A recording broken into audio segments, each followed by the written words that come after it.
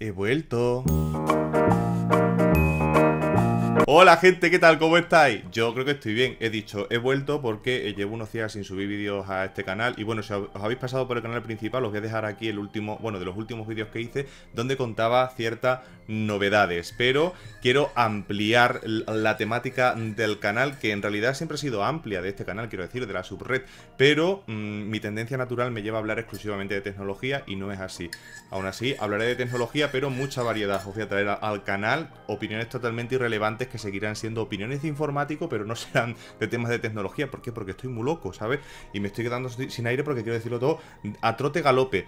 Me he hecho un café con leche que tiene isla, ¿sabes? Mira, ahí tienen las islitas que es la nata, que se, monta ahí, no sé si se monta o se hace o... Eh, ¿De dónde sale la nata? Pues de la leche, ¿de dónde va a salir? La leche entera, la desnatada no tiene, por eso se llama desnatada. Fíjate cuánta lógica hay en este vídeo ya, de primeras, ¿eh? Vamos a darle un sorbito aquí a este café, a ver qué tal sabéis. Pues me una hostia. A ver, gente, hoy he descubierto un par de cosas. Bueno, una de ellas en realidad sí que la sabía, pero jamás había llegado a instalarla. Y es un programa que se llama Vivaldi, un navegador web nuevo que posiblemente... A lo mejor mañana hago vídeo, si no, próximamente hago un vídeo y os enseño características, porque he descubierto una que me he quedado con el culo torcido. Eso de tener dos pestañas abiertas, la misma pantalla, y sé multiproceso, multitarea y a la vez, mira, no sabes para dónde vas a mirar, me ha puesto todo loco. Se me tuerce el culo ahora en ambas direcciones. Y por otro lado, estaba navegando por internet cuando de repente... ¡Noticia salvaje aparece! Además, fresca, fresquísima, va dado que hablar... Llevo aquí yo solo con un monólogo interior así, digo, fíjate todo lo que tengo que hablar. Así que voy a grabar vídeo, encendió la cámara y ahora mismo. A ver, dice el titular así, reza de la siguiente manera. Mediaset y A3 Media le declaran la guerra a Netflix, HBO y Amazon. Ay, de verdad, esto es vuelta a la burra al trigo. Para aquellos que no seáis del Reino de España, tengo que deciros que Mediaset y A3 Media son televisiones privadas, que tienen un montón de canales en la TDT ahora, que desde que se han abierto un montón de canales de TDT, bueno, de todo. De todo y, de nada a la vez. Por ejemplo, Mediaset tiene canales, el canal que más se conoce es Telecinco y luego 4, ¿cuál más tiene? Ahora el BIMAD este y un montón más. Bueno, tú pones la, la, la TDT aquí en el Reino de España y la mitad de los canales son suyos. Y con A3 medias, tres cuartas partes de lo mismo. Tienen Antena 3, la sexta, Neo, y ya no me acuerdo de más, porque la tele yo apenas la veo, veo ciertas cosas puntuales que luego trataré ese tema. Entonces ahora estas televisiones privadas se han cabreado, se han puesto, bueno, parece que le han tirado de los pelos del culo, como se suele decir. Que Netflix ha crecido mucho en el Reino de España con todos los problemas que les ha puesto Movistar a Netflix y fíjate, ahí se han mantenido. HBO, que son los que hacen los de Juego de Tronos, y Amazon yo no sabía ni que tenía también contenidos en internet tipo vídeo, me entera por esta noticia, luego le echo un vistazo. Como estos servicios han crecido mucho, estas televisiones privadas pues han cabreado, entonces están pidiendo que mm, se equiparen aquí en el Reino de España las mismas condiciones que tienen ellas Mm, porque si no, esto va a ser un despiporre. Un viva la pepa. Me quedo con la primera frase de la noticia, que os voy a dejar el enlace en la caja de descripción. Las televisiones privadas en abierto se sienten discriminadas ante otras plataformas de distribución de contenidos televisivos, como las nuevas plataformas Netflix, HBO y Amazon. Y yo ya con este párrafo empiezo a sacar conclusiones. Vamos a ver. Por un lado tenemos la televisión y por otro lado tenemos Internet. Estas televisiones privadas tienen sus propios canales reservados que estarán pagando religiosamente por ellos. Yo no digo lo contrario y se están financiando con publicidad. Y tú enchufas la televisión, sincronizas todos los canales, sintonizas, que no sincronizas, sincronizas lo del móvil. Sintonizas los canales, que yo como informático lo he tenido en la carrera, una asignatura de sintonizar TDTs. Por eso me lo piden. Y salen todos los canales suyos, pero no sale un canal de Netflix, de HBO o de Amazon. Por lo menos yo no lo he visto. Casi todos los súbditos del Reino de España tienen televisión en sus casas. Y se mueve muchísima audiencia gracias a la televisión. Por otro lado está Internet. No todo el mundo tiene Internet en casa. Y otros lo tenemos y la calidad es paupérrima, también os lo digo. Pero aquellas personas a las que yo envidio que tienen fibra óptica, incluso simétrica, ¿quién pillará eso algún día en un pueblo? Pueden ver otro tipo de vídeos en los servicios estos de Netflix, diferentes series, en HBO también, Amazon y no sé si otras plataformas también. Bueno, no sería de vídeo, pero pongamos Spotify, que no sé si también ha empezado a incorporar características de vídeo, puede ser. O algo de eso tengo ya trona, como buen brontofóbico. Lo que quiero decir con todo esto es que están jugando en ligas totalmente diferentes, que unos por defecto, solamente por existir la televisión, ya tienen su audiencia, y otros, a ver, se están moviendo en internet y en internet. O triunfas o no triunfas. Eh, eh, estar en internet no te asegura el éxito. ¿Qué ha pasado? Que Netflix, HBO y Amazon sí lo han tenido, ¿vale? Pues que si hubieran sido otras compañías, a tres media y esta gente hubiera ido en contra de esas otras compañías compañía. Llámalas Pepito, llámalos Paquito. Entonces yo me pregunto, ¿por qué Mediaset y A3 Media no se crean sus propias plataformas para servir contenidos en internet? Ciertos vídeos, ciertas series, etcétera. Por el momento creo que tienen todas las series en sus páginas web, pero mm, aquí viene el detalle. Muchas de esas series, entre media, meten un montón de publicidad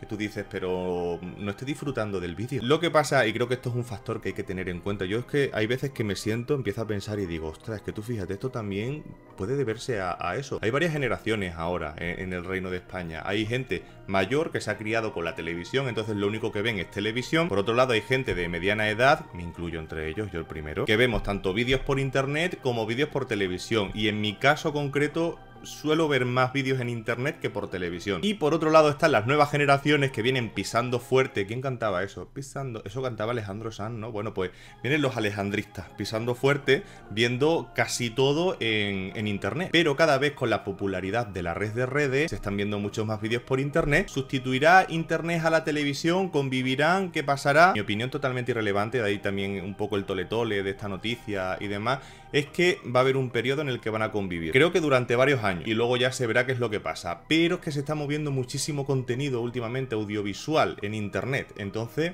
ya no sé qué decir. Porque si no, ¿por qué cada vez que estamos viendo un programa en televisión ponen el hashtag arriba, en la, en la esquina superior izquierda?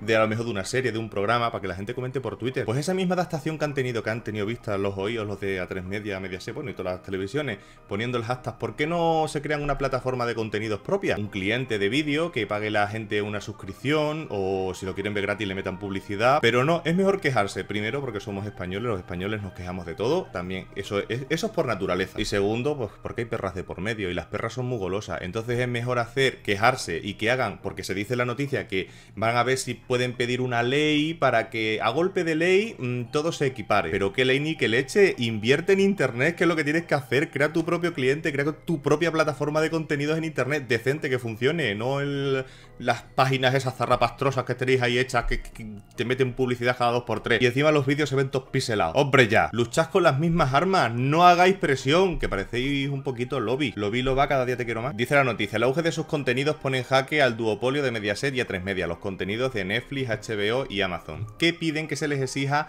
los mismos requisitos para operar. El futuro y el presente ahora mismo es que cada uno mm, vea lo que quiera ver al momento, no, venga, me tengo que esperar a este programa que lo van a echar a esta hora y mm, me tengo que esperar. No, tú llegas, oye, mira, ahora que tengo un rato libre, lo pongo y ya está. Ese es el futuro. Como no os adaptéis a eso, a tres media, media seis, bueno, y todas las compañías de, de teléfono, iba a decir, de televisión mm, presentes en el Reino de España, muy malos aires. Ahí está la clave, en poder elegir el contenido que ver. Tú llegas ahora mismo a internet y quieres ver a lo mejor a un tío con gafas, medio calvo, de Extremadura, que habla de todo un poco y no dice ni tampoco nada, que tiene dos canales así un poco disperso. Y lo quieres ver y lo ves y te suscribes. Mira, muy fácil, se llama La Red y la Subred de Mario suscríbete. Y lo ves cuando quiere. La red de Mario y la subred de Mario no emite a una determinada hora y tienes que estar pendiente. Te lo digo yo que eso no funciona así, créeme. O quieres ver a cualquier otra persona o a una productora que cree sus propios vídeos en internet, en cualquier momento. Eso es el futuro. Yo vengo del futuro y eso es verdad.